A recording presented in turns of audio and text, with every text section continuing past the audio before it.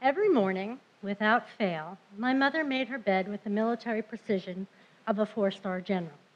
She smoothed and chased down renegade wrinkles and snapped neat square corners, and then she would slowly circle and inspect her work. No one should start their day with an unmade bed, she'd say. I can't recall exactly when she deserted her bed making ritual. It was more like a slow retreat. First, it was just unmade, and then all too quickly, her bed became a disheveled heap. It was somewhere between unmade and disheveled heap that I realized the war with dementia had begun. It was a war that would last for 15 years. In her youth, my mother was a beautiful redhead. People would compliment her on her thick, stunning waves of mahogany hair. During the dementia war, however, all that remained of the lovely redhead were formidable and now legendary trips to the hairdresser. She nearly needed to be held at gunpoint to, be, to get into the car. Who needs a haircut? She'd argue. People used to tell me I had beautiful hair. And shortly thereafter, she'd forget where we were going and anxiously rummage through her pocketbook. I would reach for her hand to soothe her and remind her she loved her visits to the hairdryer. Hmm, she'd say, and return to her pocketbook. At the salon, while devouring every last one of the complimentary cookies, dementia oh, never affected her appetite, and shouting loud enough to be heard over the hairdryer, mom would yell, I used to be a redhead! People used to tell me I had beautiful hair, but not anymore. The cookies would spray everywhere, and I would worry that her dentures would fall out. I used to be a redhead, she'd repeat, though everyone in the salon had already heard it. Afterwards, she'd give the hairdresser one of her infamous crushing hugs, the kind that just took your breath away. They loved her at the salon. They loved mom wherever she went. Growing up, my mother was the oldest girl of eight children born to Swedish immigrants during the very difficult times of the Depression. Her youngest sister was a whopping 20 years her junior. So in her life, there were always young children for my mother to tend to. Children with not enough food to eat, children with not enough heat to keep warm, shoes worn thin enough to need cardboard inserts, and a father that frequently needed collection from the local bar.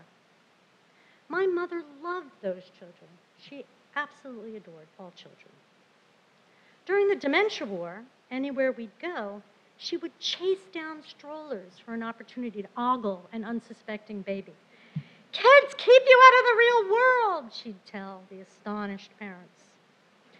Babies in supermarkets were particularly good targets for her because they were seated nice and high in the shopping carts, and she could really get some FaceTime in. There was no reining in her outright joy at the sight of a baby. Kids keep you out of the real world, she'd repeat to anyone who'd listen, and then sometimes just softly to herself. I always worried that the unsuspecting babies might cry, but they never did. The babies would hold her gaze and smile generously, and I would breathe a sigh of relief. Mom was the picture of vitality. She could kick her foot up above her waist and walk you clear into the ground in New York City. She marched with purpose wherever she went, and her stamina was legendary. But she would stall if she came across an unfortunate soul holding a tin cup or living in a cardboard box. Mom's face would crumple and she'd suck in her breath. Health is wealth, she'd say.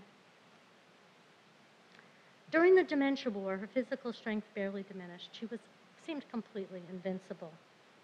But one cold winter night, sneaking past her full time caregiver, Mom managed to escape out her front door and navigate a long, steep driveway away from her home, a home that she had long forgotten was hers. Three feet of new snow blanketed the earth, and certainly exhausted, Mom rested in her nightie and pink slippers, expertly flanked by two large snowbanks and completely hidden from view. It was there that she surrendered. A stranger found her in the morning on their way to work. Health is wealth, my mom would have said, had she the breath. You must be relieved, people said to me at the funeral. Relief? No. How can it be that people in their right mind say the most demented things?